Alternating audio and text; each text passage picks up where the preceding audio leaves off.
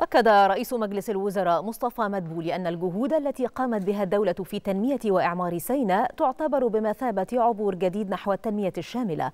جاء ذلك خلال استعراض جهود الدولة التي قامت بها على مدار السنوات التسع الماضية في تنمية سيناء والتي تقوم بها حاليا وستقوم بها في الفترة القادمة.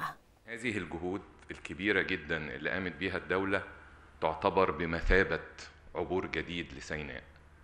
فإذا كان العبور الأول هو كان بعد حرب المجيدة حرب 73 بغرض تحرير الأرض فإن العبور الجديد اللي بتقوم به الدولة النهاردة هو بغرض التنمية الشاملة.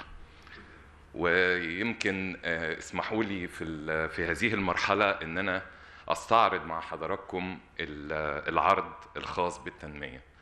الحقيقة سينا بالنسبة للمصريين دائما هي انطباعنا إنها يعني في قلب كل مصري هو مكانها كبيرة جدا وعزيزة وهي مفتاح موقع مصر العبقري في قلب العالم بقاراته وحضاراته وهي البقعة الوحيدة على الكرة الأرضية اللي تجلى فيها ربنا بوجهه الكريم سبحانه وتعالى في المنطقة المقدسة طبعا الطور.